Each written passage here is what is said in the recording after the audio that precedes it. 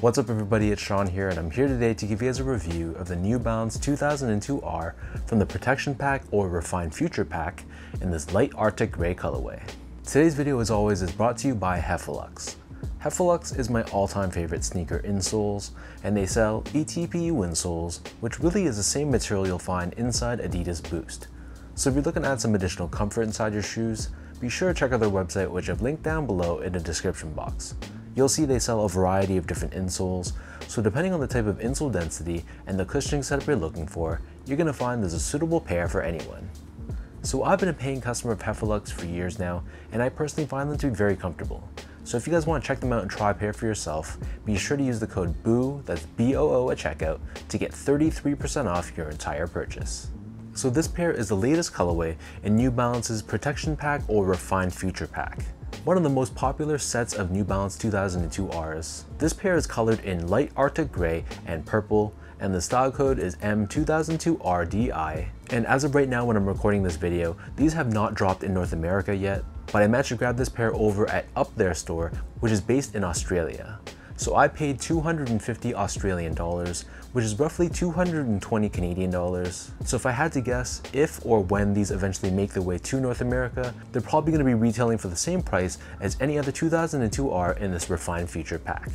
So jumping straight into the details of this shoe, the base layer of the sneaker on the toe box, this is constructed out of this mesh material which is woven in this herringbone style. Right above this we have this light purple colored suede with the New Balance N logo embroidered in the center, and we have this reflective 3M patch which is found on the medial edge of the toe box. And then overlaid on top of this, we have a darker purple suede on either side. Surrounding the front toe cap, here we have this hairy or long-haired suede, which is once again done in that light purple sort of tone.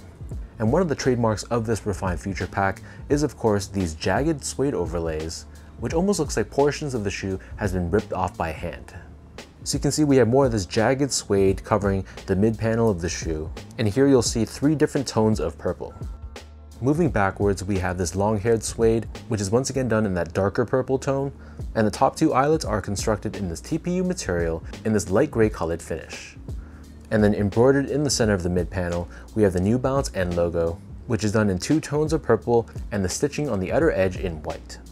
Moving downwards, you can see surrounding the top portion of the ankle collar area, we have more of that herringbone style mesh that we saw earlier on the toe box. And then underneath this, we have a suede overlay with 2002R branding found on the lateral side.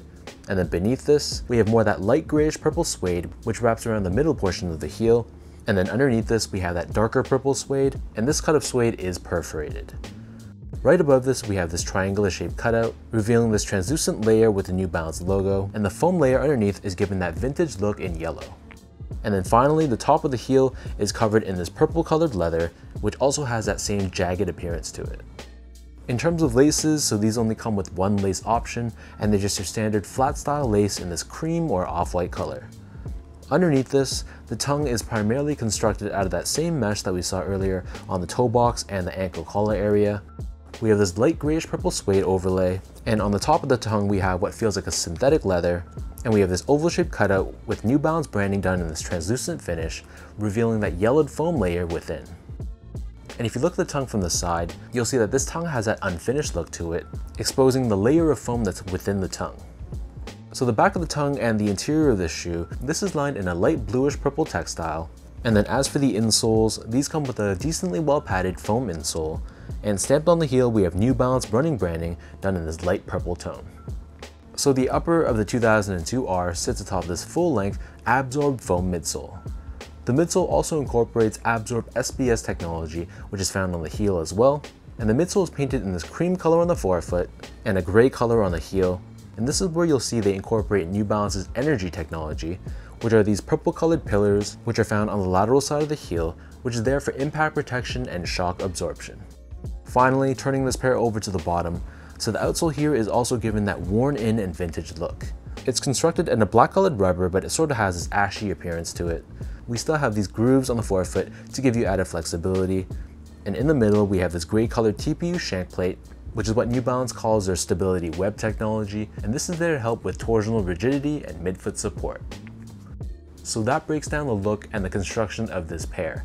And for those wondering about sizing, these fit like most of my other 2002Rs, so I personally stick true to size.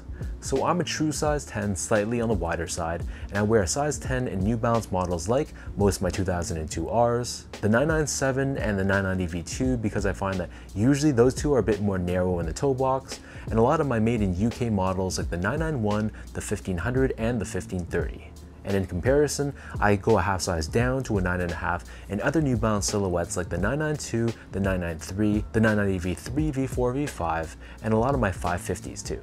Moving on to the comfort, so I've said this before in all my reviews, but the 2002R, in my humble opinion at least, is a very comfortable New Balance silhouette. It gives me that perfect balance of squishiness and softness in this foam, but it's not overly soft and unstable, and my foot feels pretty well supported when I'm wearing these. So if I'm gonna be on vacation, for example, or if I know I'm just gonna be on my feet for many hours within a day, then this is definitely a silhouette of choice that I would recommend. Finally, in terms of the overall quality and craftsmanship, so first off, material quality, I thought it was okay. This specific pair was made in China, and I don't know if it's just me, but the quality of the suede felt a little bit poorer even compared to some of my other 2002Rs from the same protection or refined future pack. It has a bit more of a synthetic feel to it, and it feels a little bit rough and scratchy to the touch, which was a little bit disappointing but maybe it's just a quality control issue. Let me know if you guys own a pair of these. How's the quality of the materials on your pair? And finally, in terms of the craftsmanship and the build on this shoe, I thought it was okay as well. The biggest issue that I had was that there were some inconsistencies with how the panels were shaped and placed. And while there wasn't too many glue stains and the paint job was solid, the biggest thing that was bugging me, and it's still bugging me, is the mesh that's found on the left foot. It was placed crookedly or diagonally compared to the mesh on this right foot where it's placed more straight. So this might be just more of an OCPD sort of thing. And I'm sure a lot of you watching out there don't nitpick your shoes that much, but just one of those things that once I saw it, I just can't unsee it. So I gotta say that was disappointing.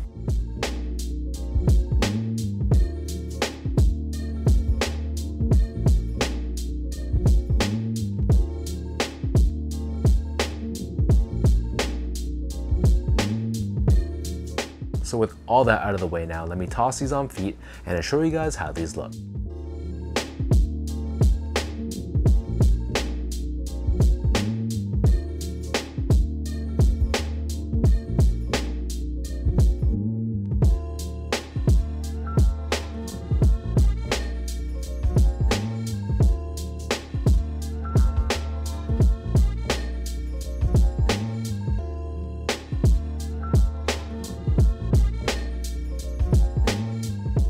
Aside from the beef that I have with the poor quality and materials and the craftsmanship on this pair, I think the colorway of the shoe is absolutely beautiful. The way I see it is that this is very similar to the original Rain Cloud colorway, and it's almost like they took this shoe, slid the saturation all the way to zero, and the end result was the Rain Clouds. So if you guys don't own a pair of those ones, I think this is a very worthy replacement. And even if you own those in your collection, I think this is a very nice pair to own as well. These shades of blue or purple just look very, very clean. And even though suede isn't the best for the winter, I think the colorway and the tones of this shoe make it a very nice winter pair. So let me know in the comment section down below what you guys think about this light Arctic Gray New Balance 2002R from the Refined Future Pack. What are your overall thoughts on this colorway specifically? And for anyone watching, have you bought these yet? Or are you waiting for a more local release? Or is it gonna be a straight pass for you? If you guys like this video, be sure to like, comment, and subscribe to my channel if you haven't yet. You can follow me on Instagram at sgo8, follow my Twitter at sean.go, and visit my website at seango.ca. So until next time, thank you so much for watching. Hopefully you guys enjoyed this review and hopefully I helped you in some way. And I'll catch you guys all in the next one.